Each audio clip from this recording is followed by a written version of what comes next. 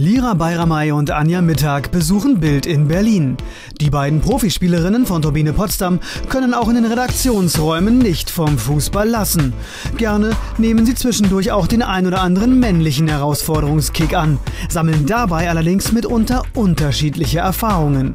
Also ich finde schon, dass sie manchmal zurückziehen oder halt zumindest okay ein bisschen Feingefühl haben. Ähm, aber ähm, Ich mein, oder findest du nicht? Ich finde schon. ja, doch, doch. Also ich meine aber auch, wer will denn schon gern gegen eine Frau verlieren? Ja, und deswegen. Geben die da auch wirklich alles. Also bis jetzt bei Ja, den ganzen Spielen, die wir hatten, ähm, haben die schon alles gegeben.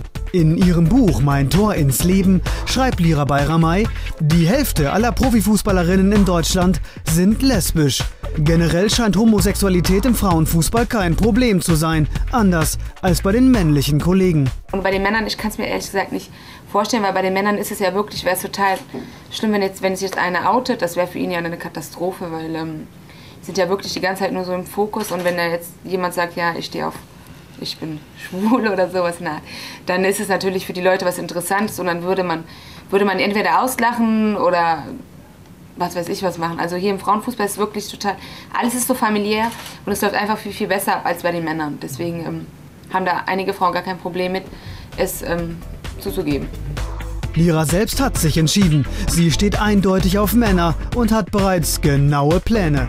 Also ich, werd, ich will ja sowieso nach 2011 Kinder kriegen und heiraten und ich bin halt so ein Familienmensch und deswegen kriegt man sowas, sowas auf jeden Fall hin. Man nimmt sich halt so ein Jahr Pause und danach auch nochmal fürs Baby, aber dann kann man auf jeden Fall weiterspielen. Fußball hindert mich nicht dazu, dass ich ähm, keine Kinder kriegen, kriege oder nicht heirate oder sonstiges. Das Ja, aber du kannst ja auch nach der Karriere machen. Ich wette, nach 2011 machst du es garantiert nicht. Wette ich mit dir.